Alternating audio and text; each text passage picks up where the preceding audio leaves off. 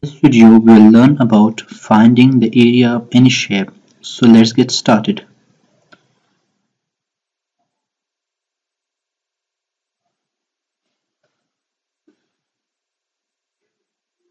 So here we are in AutoCAD interface and we are going to draw some basic shapes.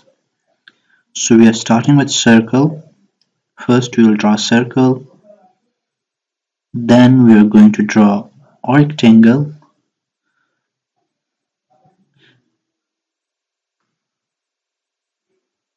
and we are also going to draw some random shapes using polyline. So selecting the polyline and drawing some random shapes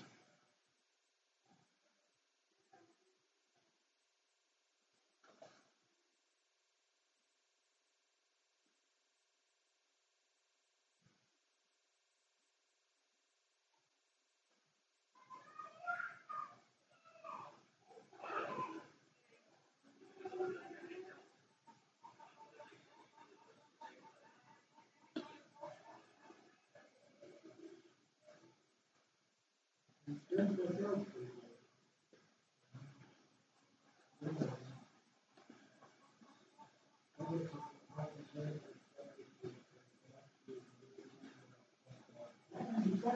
so once the shapes have been completed, now we are going to press LI and press enter. Once we have pressed LI and then enter, then we have to select the shape of which we are interested to find the area. So here's the area listed and for some shapes the perimeter will also be given. Now we are going to do it for the circle. So pressing LI, press enter and then selecting the circle.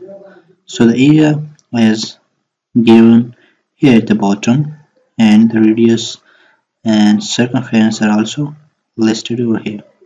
So we can repeat the same procedure for any shape and we can find the area of any shape in AutoCAD. This method can be applied in any of the AutoCAD version whether you're using AutoCAD 2021 AutoCAD or later version.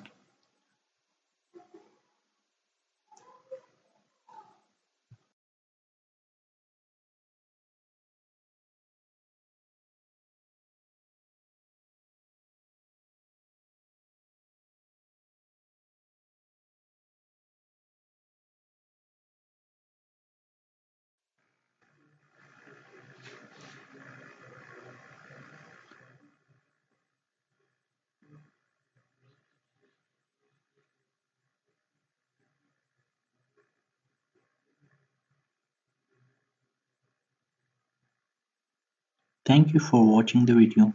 If you like the video, please do like, share and comment. Also subscribe to Learning Forum. Thank you.